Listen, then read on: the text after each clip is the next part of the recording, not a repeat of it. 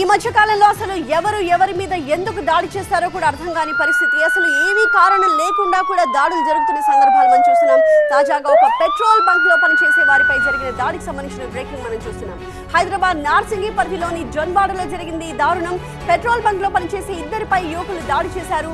ఈ దాడిలో సంజయ్ అనే కార్మికుడు చనిపోయాడు. చోటు అనే మరో కార్మికుడికి గాయాలయ్యాయి.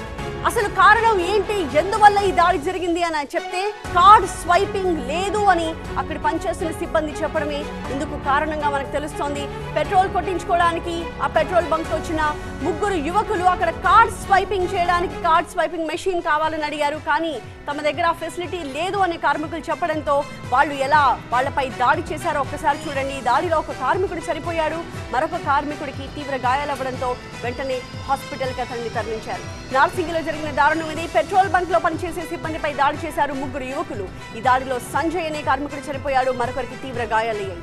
అర్ధరాత్రి పన్నెండు గంటలకి జన్వాడలోని హెచ్పి పెట్రోల్ బంక్కి వచ్చింది ఒక కార్. పెట్రోల్ కొట్టించుకున్న తర్వాత కార్డ్ పని చేయకపోవడంతో క్యాష్ ఇవ్వమని అడిగారు సిబ్బంది. అయితే మధ్య మత్తులో ఉన్న యువకులు రెచ్చిపోయి దాడి చేశారు.